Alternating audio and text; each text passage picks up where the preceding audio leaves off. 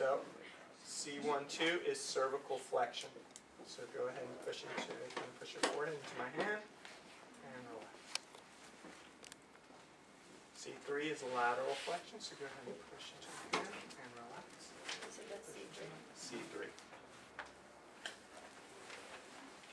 C4, and bring your shoulders up towards you. Hold right there. Don't let me push down. Hold strong. Okay.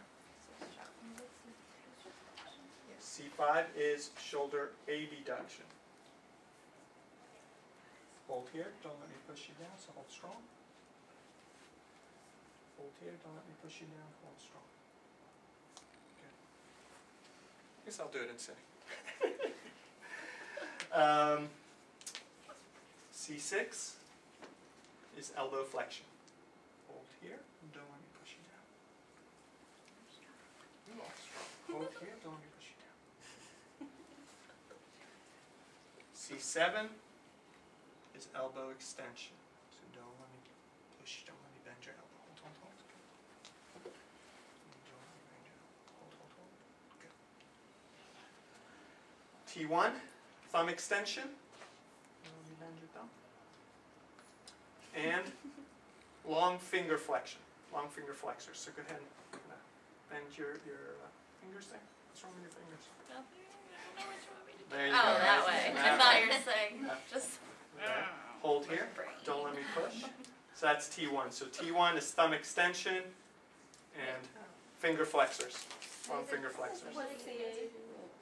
What did I say? No, it's that. Uh, that's sorry. That's C8. That's C8. T1 are um, interosseous, keeping fingers together. Don't let me pull them apart.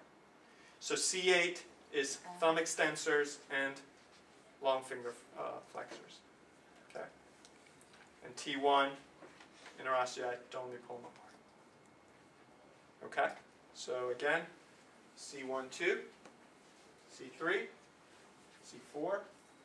C5,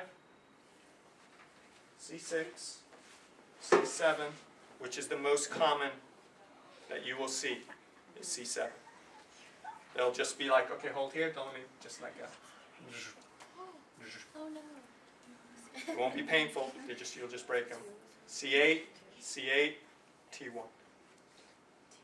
Okay? All right, do you want to keep going? Yep. Yep. Yep. Okay, um, so let me have you on your back. So sensory.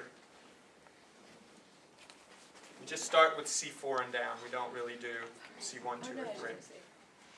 So C4 is going to be right along the upper trap. So let me know does this feel the same as this? Okay.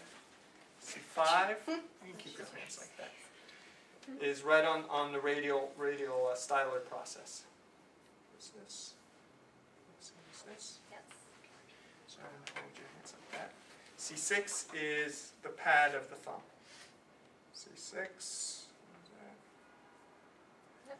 C7 is the pad of the index finger and third finger. C8 is hypothenar and little finger.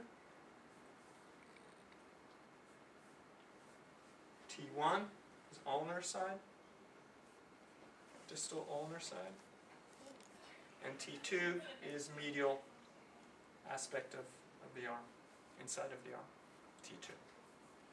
Okay? So C4, upper trap, C5,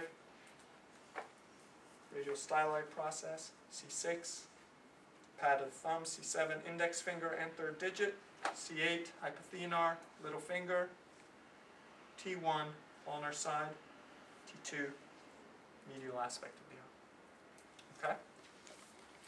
And then reflexes. Do biceps. So you want them in elbow flexion, and you want to put some tension on the biceps. So using your thumb, I know all of you are going to complain, oh, this hurts my thumb. It's too bad, get used to it.